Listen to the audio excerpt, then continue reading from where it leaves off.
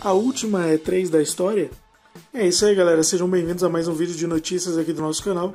Nesse vídeo a gente vai falar sobre a maior feira de games do mundo, que acontece em Los Angeles, nos Estados Unidos, todos os anos.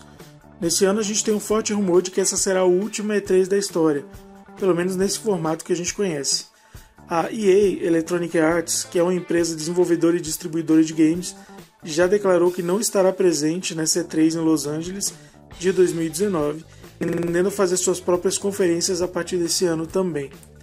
Para quem não sabe, a EA é dona das franquias FIFA, NBA, Anthem, Battlefield, Apex ou Apex, Need for Speed, The Sims, Battlefront, entre outros.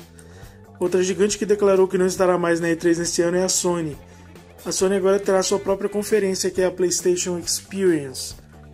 Eu já gravei um vídeo falando sobre a PlayStation Experience aqui nessa playlist do canal, depois vai lá e dá uma conferida.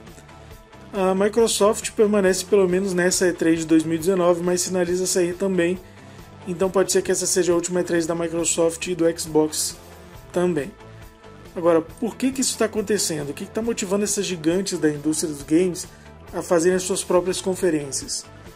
Bom, o objetivo da E3 é falar das novidades de novos lançamentos de games e consoles para a imprensa, pelo menos ela foi idealizada com essa função.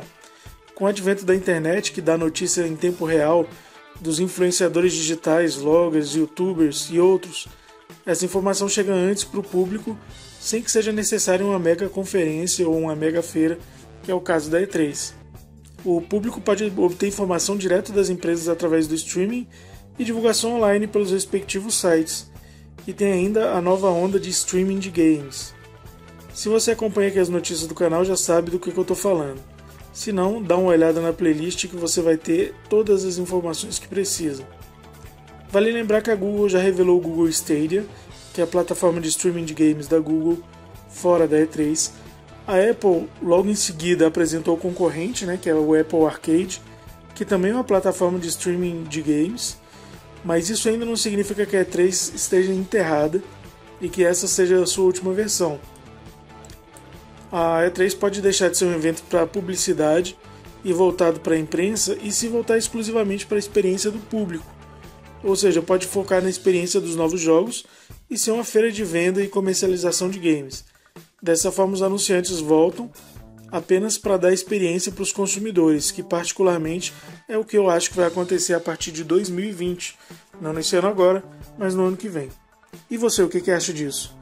Deixe aí seu comentário, se estiver gostando dos vídeos aqui do canal, se inscreve, ativa o sininho para receber a notificação dos próximos vídeos que a gente lançar.